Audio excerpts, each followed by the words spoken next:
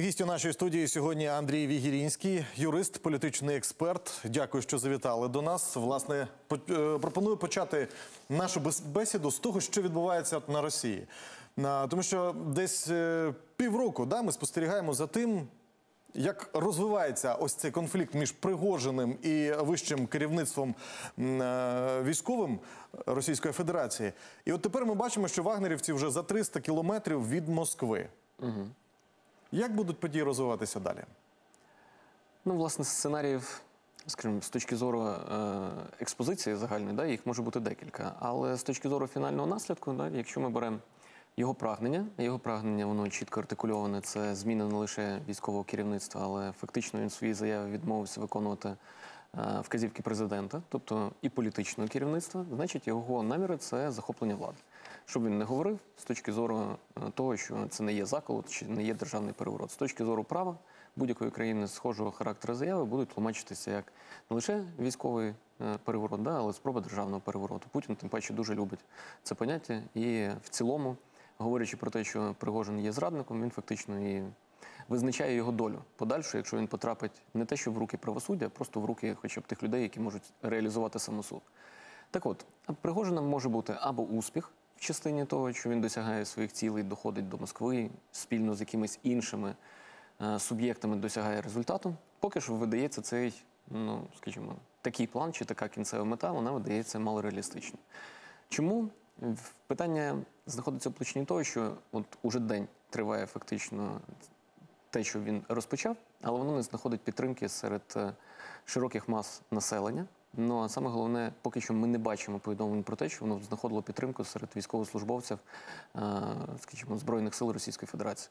Ну для будь-якої громадянської війни чи для того, що ми називаємо громадянською війною, не потрібні рушійні сили. Рушійна сила виключно сил приватної військової компанії Вагнера. Да, і вона є недостатньою, бо ти рухаєшся через населені пункти, ти рухаєшся через дороги, і тобі потрібно ну, збільшувати підтримку. Ну і бажано, щоб ця підтримка мала ще хоч, хоч як мінімум якийсь політичний окрас. Але поки що вони не мають супротиву Супротиву з боку населення, ну навряд чи з боку армії Російської Федерації.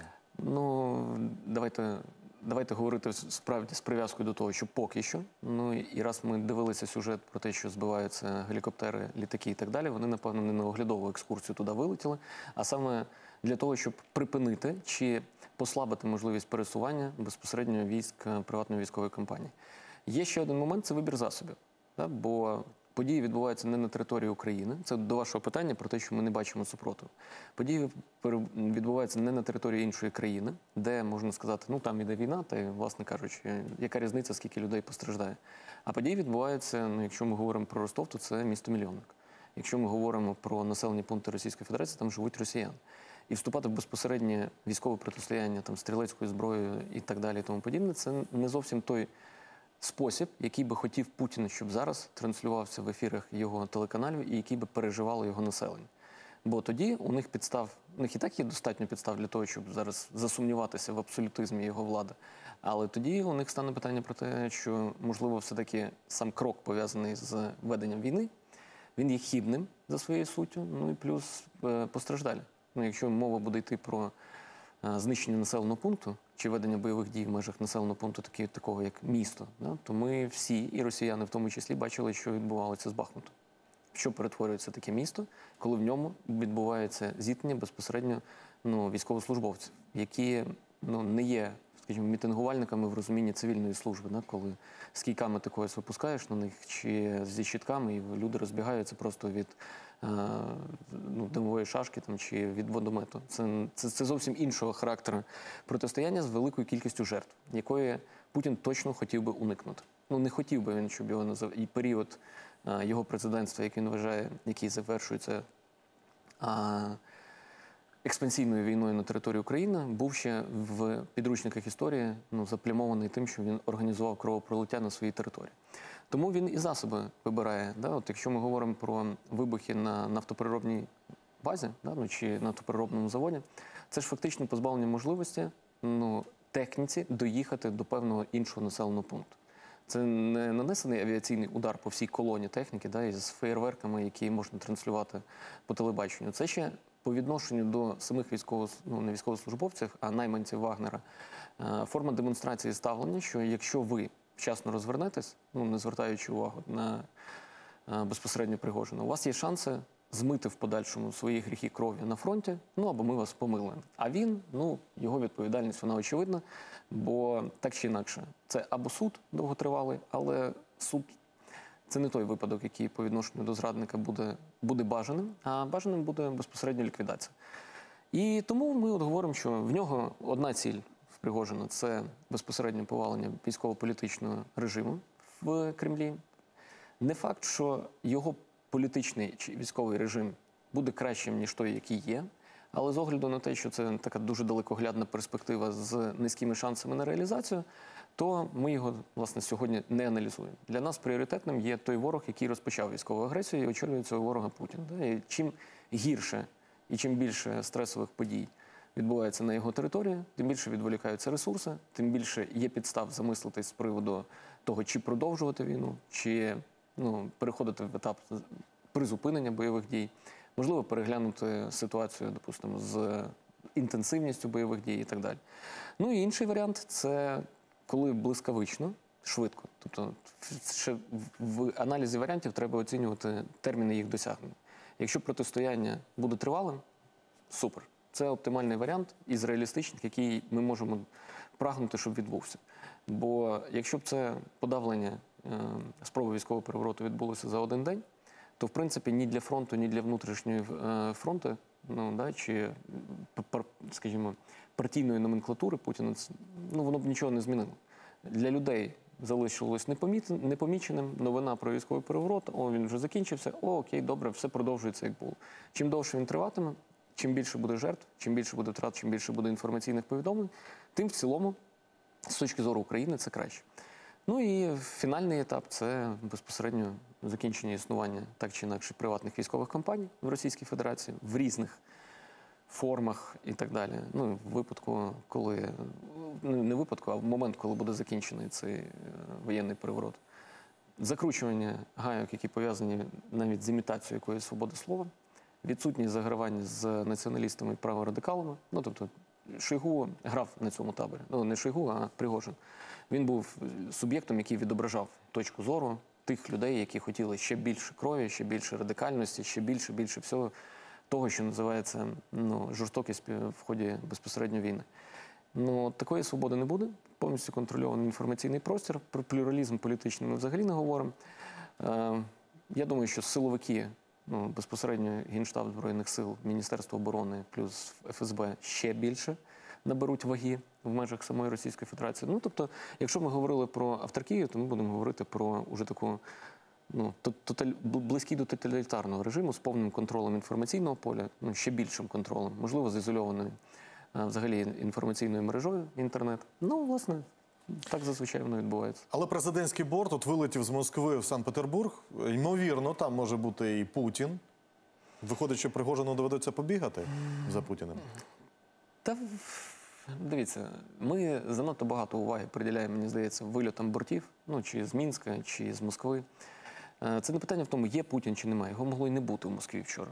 І відео він так само міг знімати, знаходячись на Валдаї в бункері. І ну, раз ми е, з вами вже неодноразово за останніх 16 місяців обговорили по кругу разів 20 да, кількість е, двійників Путіна, то один двійник на Валдаї, один в Кремлі, а третій, грубо кажучи, в Туреччині.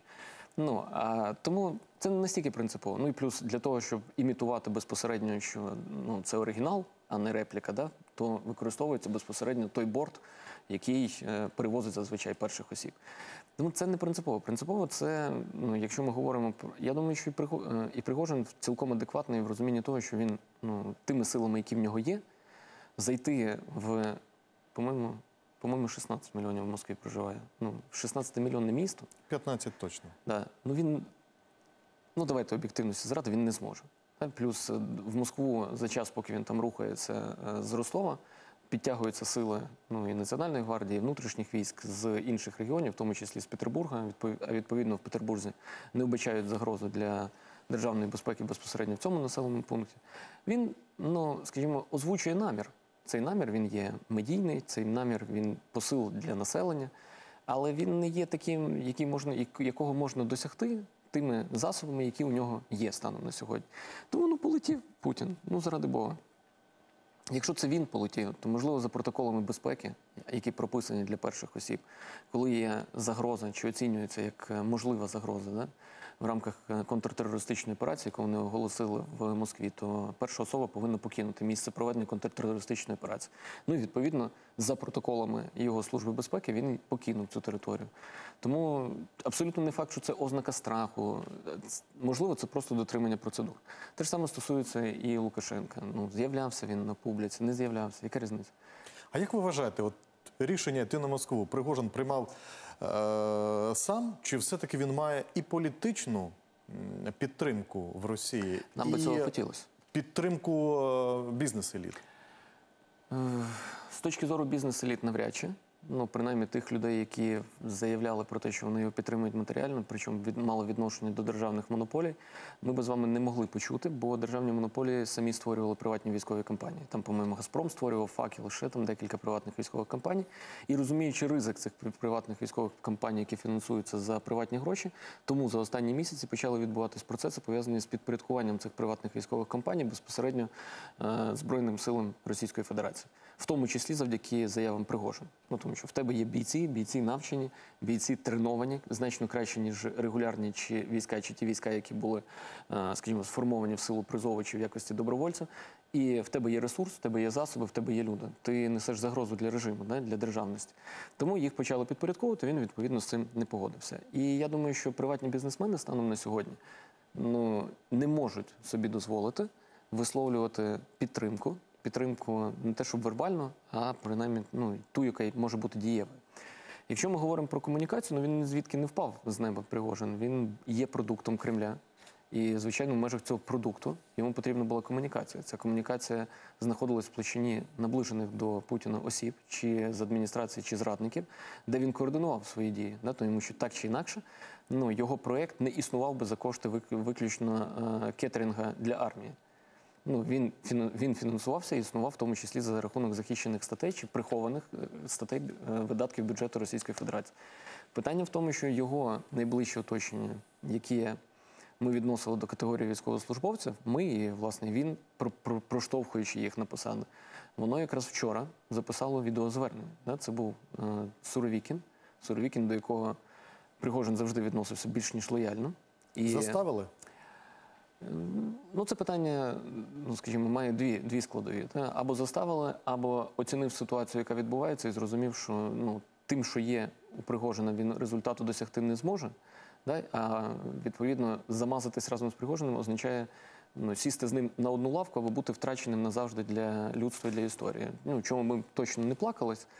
Тому він зробив вибір, виходячи з знання ситуації більш глибшого, ніж те, що ми то та ситуація, якою ми володіємо, аналізуючи інформаційний простір. Ну і відповідно можна було з точки зору Пригожина розраховувати на таких людей, як Суровікін, якщо б він був долучений до плану. Бо за Суровікіним пішли би представники регулярних військ. Ну, тобто він безпосередньо на полі бою, він, він же ж в своєму зверненні говорить, я приїхав з передової. Да? Ну, тобто, якщо Герасимова там немає, Герасимов десь далеко, Шойгу – це взагалі людина, яка на гелікоптері літає, то Суровікін – це той, хто пройшов всі е, різні види військ, плюс е, доволі непогано навчається в частині, яка стосується їх злагодження. І він є більш близьким і зрозумілим для військовослужбовців в Російській Федерації, ніж ті, кого вони ніколи не бачили.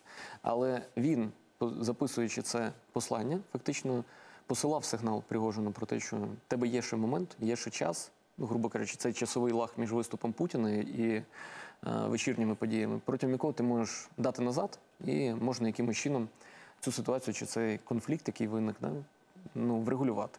Ну, але вже після того, як виступив Путін, назвав його зрадником, після того, як відбулася правова кваліфікація, то ну, про ніяке злагодження чи залагодження мови йти не може.